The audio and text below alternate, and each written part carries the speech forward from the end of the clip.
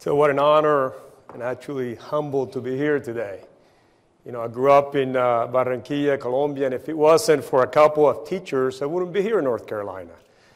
I had a couple of teachers that were teaching me in uh, junior and senior that were graduates from Western Carolina University. Do we have any WCU graduates here? Oh, there you go, got a few. Well, so I ended up coming to the mountains of North Carolina, and then I transferred to NC State, where I got a degree in civil engineering, a master's in structural engineering. And 20 years ago, I founded Stewart. Stewart Engineering, now Stewart Inc., which is right across the street with an office in Charlotte and an office in Durham, soon to have an office in Richmond, Virginia.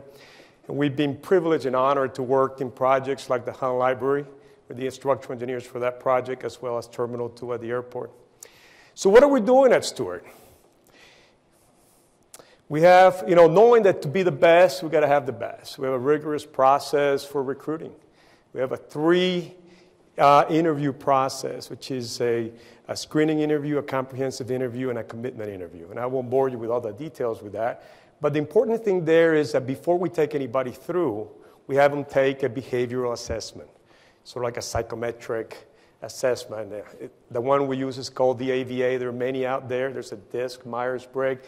And what that is doing is telling us, you know, the natural behavioral tendencies of this individual, you know, and we want to make sure that it matches the behavioral requirements of the job. Basically, that we have the right person in the right job. But it also teaches us about that individual, how that person gets motivated, its strengths and weaknesses, and how they want to be managed. Because, see, we believe in the platinum rule which says, you know, treat others as they would like for you to treat them, right? So we want to manage people that way. So understanding behavior is absolutely key to be able to develop our talent. So once we bring them into a very comprehensive orientation process, we put them into a one-on-one uh, monthly program, which you know they take them all the way through always. If you manage somebody at Stewart, you are required to do one, monthly one on ones with that individual. You're talking there about key performance indicators, you're talking there about uh, performance in general, but more important, you also talk about monthly goals. So each person has personal and professional goals, both. And therefore, when you're done with your monthly meeting, you should have another set of goals for the next 30 days. Then we have intentional training. If you're an engineer in the state of North Carolina, you got to have 15 PDH hours. But in addition, you know, that's of, that, that sort of supports your, your, your technical expertise. But in addition to that, we do a lot of soft training, soft skills training. We teach them about behavior, you know, how people learn, emotional intelligence. I think Amanda earlier this morning actually mentioned all those words. We teach them how people are motivated, team building. All those things are, are highly important. Then we have Stewart University. Stewart University, we've been doing it for the last several years. We actually have an internal dean, Frank Mundy, who leads our geomatics group. And, and this is every Wednesday we have a class. And this year, we're focused on cross discipline training. We're basically teaching our engineers what our landscape architects are doing, our landscape architects, what our construction services people are doing. What we're doing is creating a more whole individual. Because at the end of the day, what we're looking for is, frankly, people to get empowered. And because empowerment leads to motivation. And I'm not going to go talk a lot about that because I know that Dan Pink is going to be presenting on that probably at lunchtime today. But empowered individuals get really passionate about what they do. They're self directed, they're autonomous. And self direction leads to emotional engagement.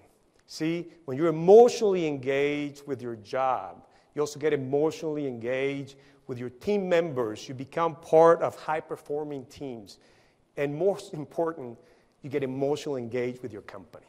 Because you see, survey after survey has clearly shown that emotionally engaged people are more hyper focused, are more energized about what they do. And the Tower Watson global study and the, uh, the Gallup surveys clearly show that companies with highly engaged employees are outperforming those that are not. In fact, by numbers in the 20, 30, and 40% in productivity, profitability, customer service, morale, lower turnover, and even lower safety incidents and product defect. So all that leads to enhanced outcomes. See, and these enhanced outcomes, these enhanced outcomes, then with a leadership that truly believe that this is important. You see, I have and work with some CEOs that will not mind spending a million dollars in a piece of equipment, but then cringe at the thought of sending their people to training. But you know, this leadership needs to understand that it's important. They believe in work-life balance. They believe in reinvesting back into the culture of the organization. They believe in wellness programs, well-being programs. They believe in um, compensation and bonuses and all that good stuff. Because you see, what we're looking at here is trying to create a great place to work. That's our vision at Stewart. You know, become one of the best places to work. See what happens when you do that. Then you don't have to participate in the recruiting war. Because people truly, the best talent are out there, get attracted to those companies. And right here, we have SAS in Cary, second best place to work in the United States.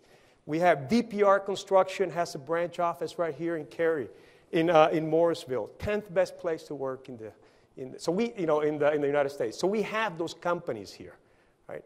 So what I have here in front of you is what I call the integrative management model. Within that model, I call that success virtuous cycle. See, when you invest in culture, what you're doing, you're attracting the best talent. You put them through the same process, right?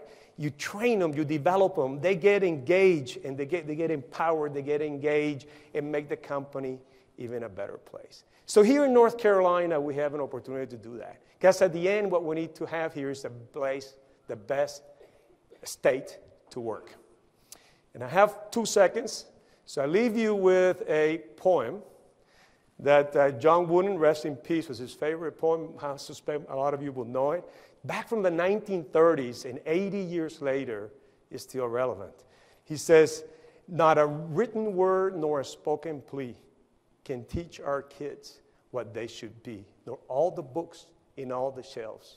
It's what the teachers are themselves. Thank you.